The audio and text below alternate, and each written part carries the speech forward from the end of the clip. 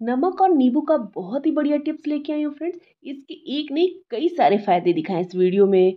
तो पूरा वीडियो ज़रूर देखिएगा फ्रेंड्स। तो चलिए टिप्स शुरू करते हैं। इसके लिए ले लेने हैं तीन नींबू। तो यहाँ पर नींबू लेके धो करके इसको पोछ लिया है। अब इसको कट कर देना है। तो याद रखिएगा फ्रेंड्स, पूरा नहीं कट करना है, इस तरह से कट करना है ताकि नीचे से ये जुड़ा हुआ रहे। देखिए, इस तरह का होना चाहिए। अब इसको एक कटोरी में रख देना है।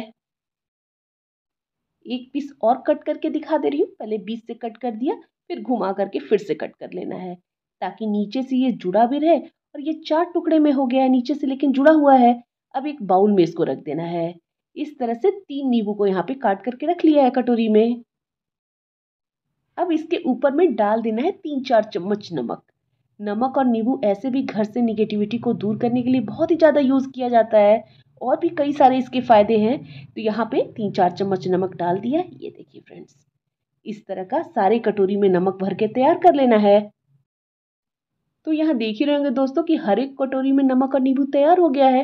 अब इसके ऊपर डाल देना है अल्कोहल। तो हर एक कटोरी में दो से तीन चम्मच अल्कोहल डाल देना है। अगर नहीं हो आपके पास तो कोई भी फ्लोर क्लीनर या कांच साफ़ करने वाला जो क्लीनर आता है दो दो चम्मच हर एक कटोरी में डाल दीजिएगा।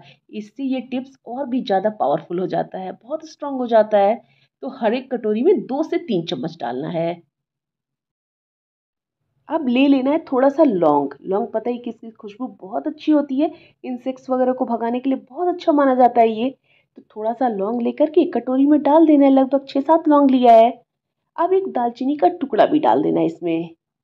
अब ये कटोरी बिल्कुल तैयार हो गई है इसका क्या यूज़ है वो आगे दिखाऊँगी आपको। अब ले लेना है आपको फैब्रिक कंडीशनर तो जो भी ब्रांड यूज़ करते हो वो ले लीजिएगा, बहुत अच्छी उसकी खुशबू होती है। तो दो बड़ी चम्मच ले लेना इसको और नमक और नींबू वाली कटोरी में डाल देना। ये दूसरी वाली कटोरी है।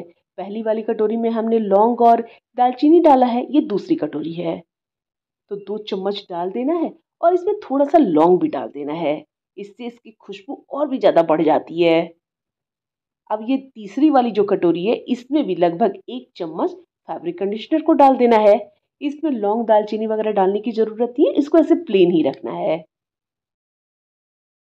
और ये लीजिए दोस्तों, तीनों कटोरी तैयार हो गई है यूज़ के लिए। इसको आप तीन दिनों तक यूज़ कर सकते हैं, बिल्कुल ख़राब नहीं होगा।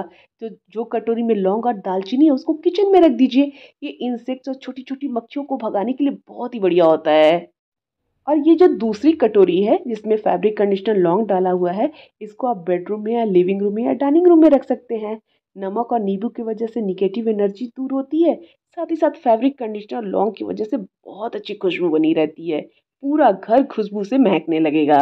और ये जो तीसरी कटोरी है उसको बाथरूम में रख दीजिए। नींबू और फैब्रिक कंडीशनर की भीनी भीनी खुशबू बाथरूम के बदबू को दूर कर देगा। तो फ्रेंड्स इस टिप्स को ज़रूर आजमा के देखिएगा, बहुत यूज़फुल